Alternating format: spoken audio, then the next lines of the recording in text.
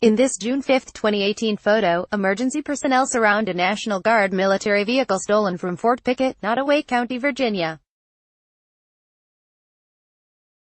Police in Virginia said they arrested a soldier who stole the armored personnel carrier after chasing him for more than 60 miles. Grace Hollers, Richmond Times-Dispatch via AP, Richmond, Virginia.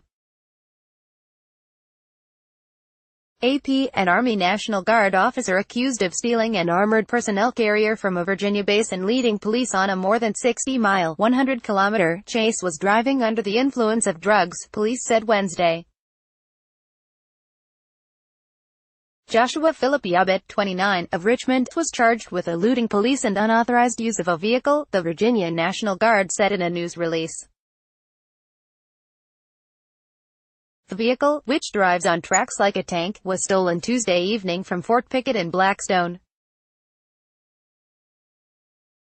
Police chased it for about two hours at speeds as high as 40 miles per hour, 65 kilometers per hour, before the driver stopped and surrendered near Richmond City Hall, Virginia State Police said. The guards said the personnel carrier was driven away during routine training at Fort Pickett and has been returned to the base.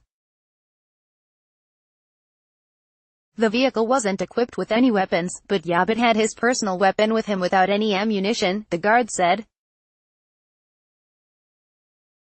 Police said investigation is ongoing and declined to comment on a motive for stealing the vehicle, but said he was under the influence of drugs. Yabut is being held at the Richmond jail. No bond was set when he appeared Wednesday in Richmond General District Court via video link from the jail.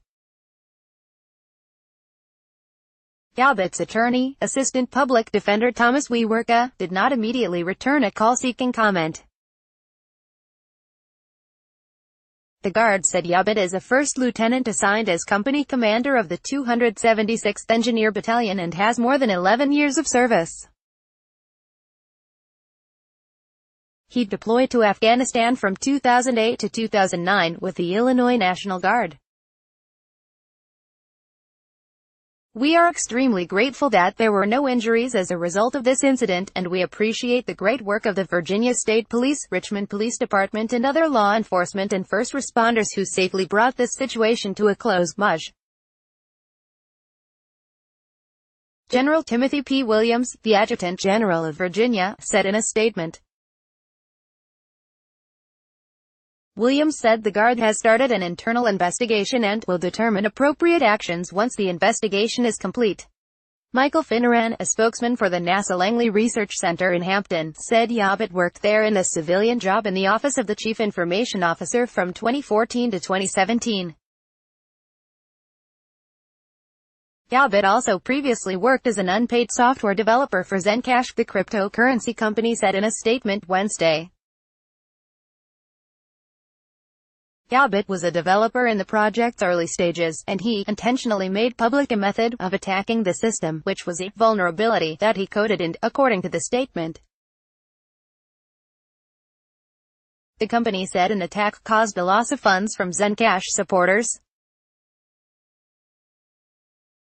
The lost funds were restored. The vulnerability was addressed in the FBI Internet Crime Complaint Center was contacted about Yabut's actions, the company said. A spokeswoman for the Richmond division of the FBI did not immediately return a call seeking comment. Yabut seemed to foreshadow the theft and chase in Twitter posts Tuesday. Hours before the vehicle drove off the base, an account confirmed by the Guard as Yabut tweeted a Wikipedia entry about the M113 armored personnel carrier, which is similar to the M577 vehicle police chased, and a screenshot of a map around the area where the vehicle eventually stopped.